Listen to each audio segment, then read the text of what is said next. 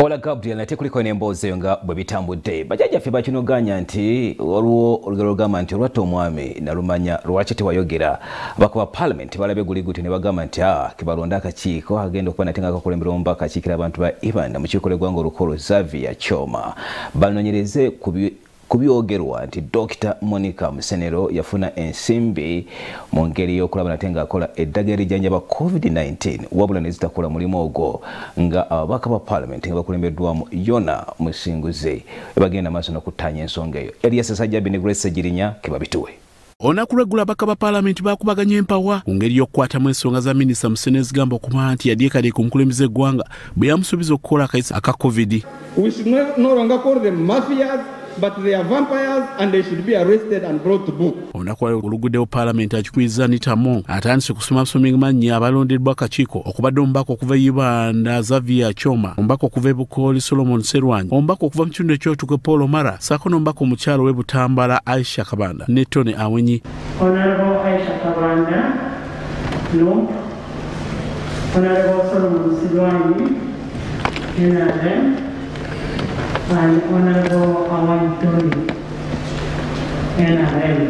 kaakati bano bagenda kuba nga bakola mu sabbiiti bbiri okujja na alipoota okunoonyezebwa ku bigamba nti minisita musenero yabulankanya ensimbi esooka mu buwumbi ensanvu To report to Parliament within two weeks from today. Yesterday again, I heard her on TV saying that this 50 billion, the president knows where every coin went. Right, Honorable Speaker, is it procedure right for ministers to be absent from this house instead of coming to respond to matters here? They go and address the media. Executive must also learn to respect legislature. The work we do here is the work for executive.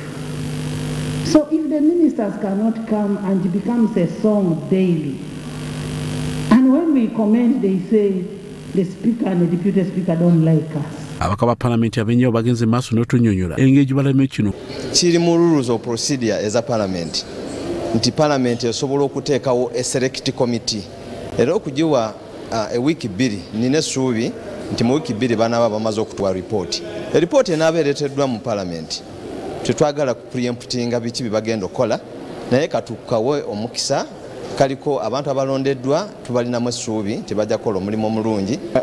Kubanga paaka nobwe tukola tutya? Tekyetagisa nokugamba nti paaka egenda ebulirize kubanga esente ezaali za gavumenti nezigenda ministry of science and, eh, ministry of science technology and innovations era paaka ejja kukola audit report yaayo obanga walimu ebizibu ebirimu paaka ejja kukola etya? Ejja kubisanga.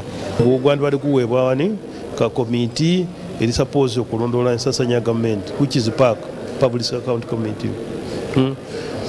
be basobola okunoonyeza obulungi nga tebalinamu kyekubirira naye no selective committee gye bateeka obuteesi eno tetulinaamu the whole of pa- parliament yona tejabateesaako bakugamba ogambe ntulonze gundi tulonze gundi tulonze gundi yes sijja bawaabira nti maybe but they are bound okuba compromised